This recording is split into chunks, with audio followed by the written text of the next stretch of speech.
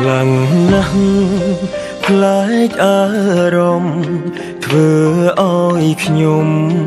នឹកដល់អ្នកចារឿងកូនលងបងនឹងអូន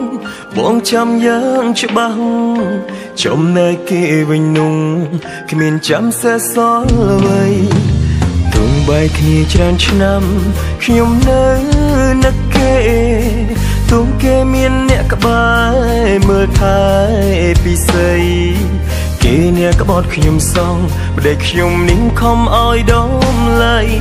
ជួងច្រើនឆ្នាំខែថ្ងៃហើយអ្វីខ្ញុំភ្លេចស្រីមិនបានមនុស្សស្មោះតែងតែកម្មចំណាំមើលទៅមិនសូវបានសុខ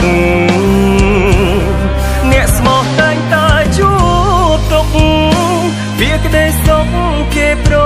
គល់ឲ្យមនុស្សថ្មី អ្នកស្មោះបានត្រឹមឈឺចាប់ស្មោះដល់ស្លាប់ក៏គ្មានប្រយោជន៍អ្វីព្រោះថាគេហើយនឹង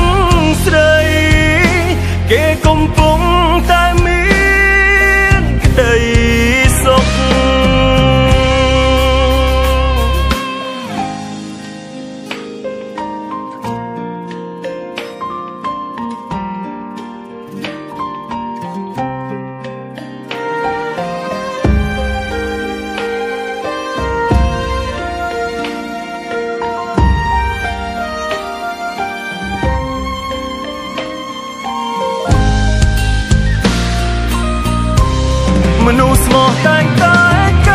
ម្មចំណាំមើលទៅមិនសូវបានសុខអ្នកស្មោះតែងតែជួបទុកវាក្តីសុខគេប្រគល់ឲ្យមនុស្សថ្មីអ្នកស្មោះបានត្រឹមឈឺចាប់ ស្មោះដល់ស្លាប់ក៏គ្មានប្រយោ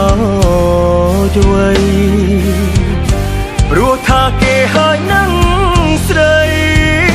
គេកំពុងតែមានក្តីសុខមនុស្សស្មោះតែងតែកាចំណាំមើលទៅ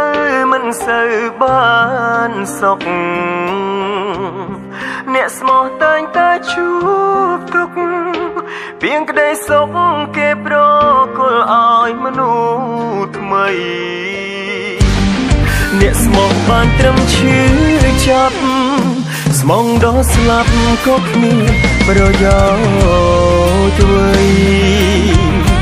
រួងថាគេហើយនឹងស្រី